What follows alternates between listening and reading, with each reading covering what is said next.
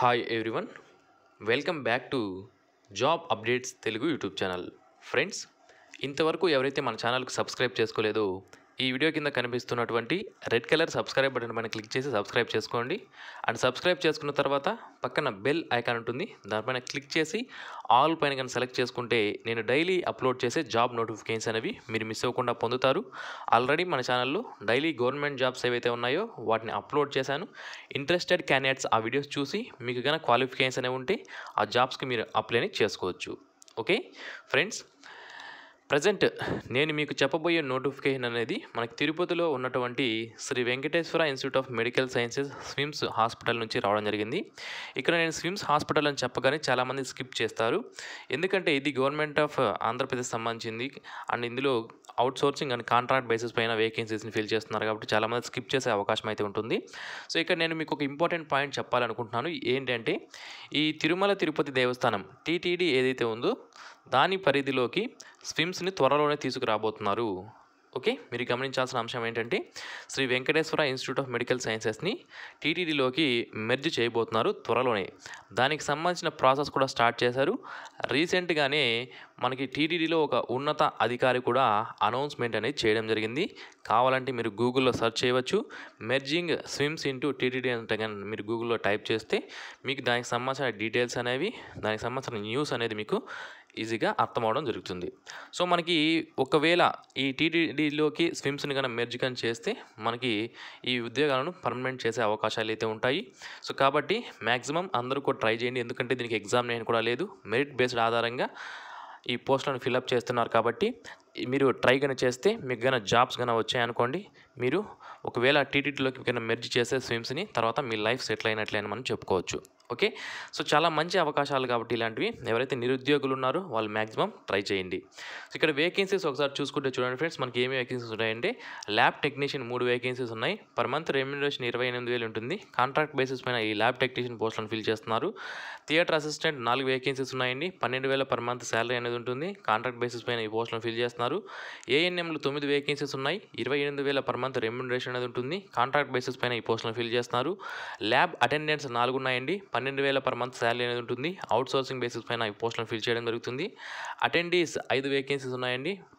పన్నెండు వేల per month salary అనేది ఉంటుంది. అవుట్ సోర్సింగ్ బేసిస్ పైన ఈ పోస్టులు ఫిల్ చేస్తున్నారు. వార్డ్ బాయ్స్ నాలుగు వేకెన్సీస్ ఉన్నాయి. పన్నెండు వేల పర్ మంత్ శాలరీ ఉంటుంది. అవుట్ సోర్సింగ్ బేసిస్ పైన ఈ పోస్టులను ఫిల్ చేస్తున్నారు.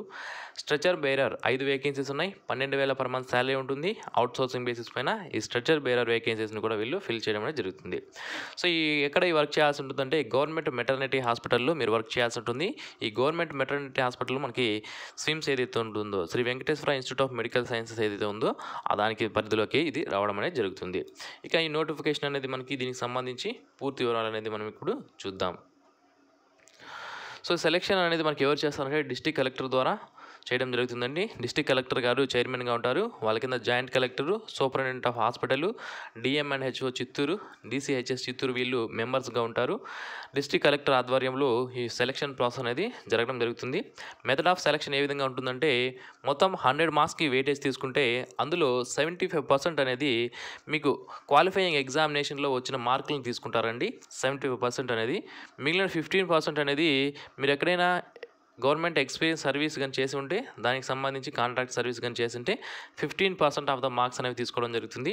ట్రైబల్ ఏరియాస్లో చేసింటే వన్ ఒక సిక్స్ మంత్స్కి టూ పాయింట్ ఫైవ్ మార్క్స్ తీసుకుంటారు. రూరల్ ఏరియాస్లో అయితే ఒక సిక్స్ మంత్స్కి టూ మార్క్స్ తీసుకుంటారు. అర్బన్ ఏరియాస్లో అయితే సిక్స్ మంత్స్కి వన్ మార్క్ తీసుకోవడం జరుగుతుంది.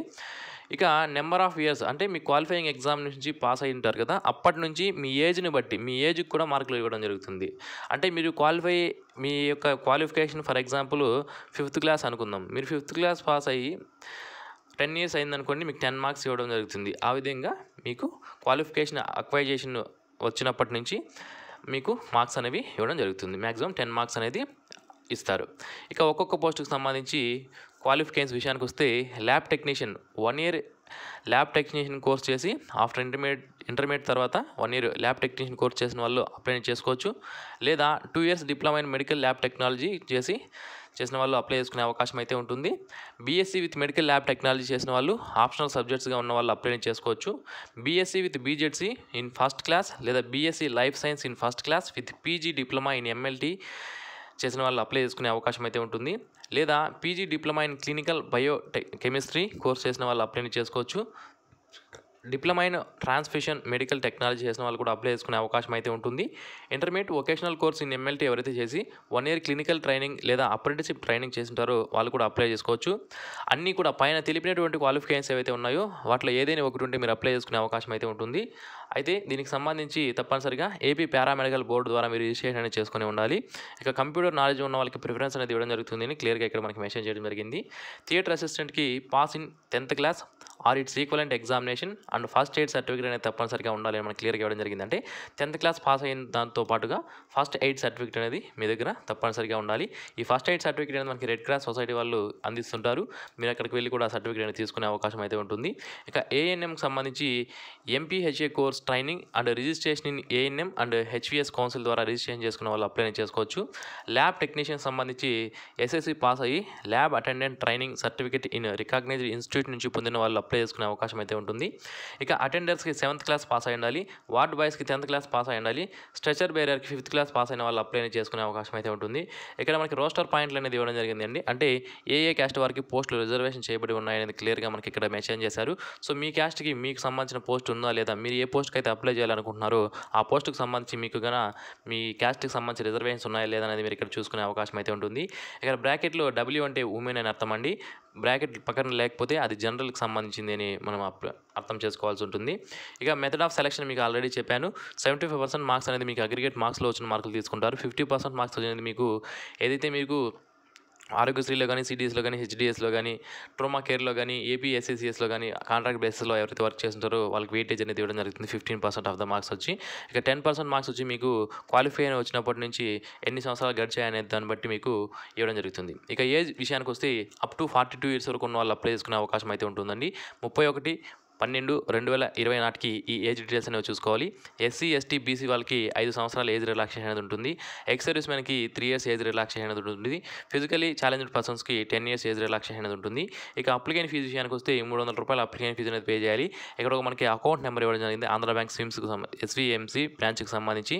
ఈ అకౌంట్ నెంబర్ పేరు పైన ఇక్కడ ఉన్నటువంటి ఐఎఫ్ఎస్సి కోడ్ పైన మీరు ఈ ఫీజు అనేది మూడు వందల రూపాయలు అనేది పే చేయాల్సి ఉంటుంది. ఇక రూల్ ఆఫ్ రిజర్వేషన్ విషయానికి వస్తే ఏది ఫోర్త్ క్లాస్ నుంచి టెన్త్ క్లాస్ క్లాస్ వరకు ఏ డిస్టిక్లో అయితే చదివి ఉంటారో దాన్ని లోకల్ డిస్టిక్గా తీసుకోవడం అనేది జరుగుతుంది. ఆ లోకల్ క్యాండిడేట్స్ మనకి చిత్తూరు జిల్లాకు సంబంధించిన లోకల్ క్యాండిడేట్స్కి ఆ రిజర్వేషన్ అనేది eighty percent of the vehicles అనేవి రిజర్వేషన్ చేయబడి ఉంటాయి. మిగిలిన రా జిల్లాలకు సంబంధించిన వాళ్ళకి మనకి ట్వంటీ పర్సెంట్ ఆఫ్ వేకెన్సీస్ అనేవి ఉంటాయి. ఓపెన్లో వాటికి అప్లై చేసుకునే అవకాశం అయితే ఉంటుంది. సో ఎలా అప్లై చేసుకోవాలంటే ఈ కింద తెలిపినటువంటి డాక్యుమెంట్స్ ఏవైతే ఉన్నాయో వాటన్నిటితో పాటుగా మీ యొక్క అప్లికేషన్ ఫామ్ని అటాచ్ చేసి ఇక్కడ ఒక అడ్రస్ అనేది ఇవ్వడం జరిగింది. చూడండి. Superintendent government maternity hospital Tirupati. ఈ అడ్రస్కి రిజిస్టర్డ్ పోస్ట్ ద్వారా కానీ బై పర్సన్ కానీ వెళ్ళి మీరు ఇక్కడ ఇవ్వవచ్చండి. లాస్ట్ డేట్ అక్కడ మీ యొక్క అప్లికేషన్ ఇవ్వడానికి వచ్చి ఇరవై ఆరు మూడు రెండు వేల ఇరవై ఒకటి సాయంత్రం ఐదు గంటలలోపు మీ అప్లికేషన్ వాళ్ళకి రీచ్ అయ్యే విధంగా పంపించాలి లేదా డైరెక్ట్గా మీరే వెళ్ళి అక్కడికి వెళ్ళి ఇవ్వవచ్చు.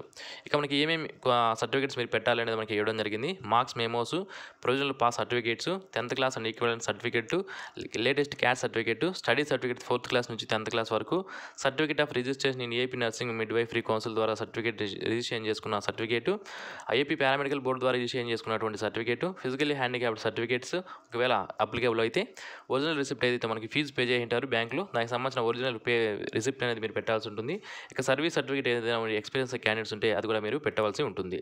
సో మనకి ఇరవై ఆరు మూడు రెండు వేల ఇరవై ఒకటి అప్లై చేసుకోవడానికి లాస్ట్ డేట్ ఇది మనకి అప్లికేషన్ ఫామ్ ఈ అప్లికేషన్ ఫామ్ మీరు ఫిల్ చేసి దాంతోపాటుగా నేను ఇప్పుడు చెప్పిన సర్టిఫికేట్స్ ఏవైతే ఉన్నాయో వాటిని నేను చెప్పిన అడ్రస్ ఏదైతే ఉందో ఆ అడ్రస్కి మీరు పంపించాల్సి ఉంటుంది.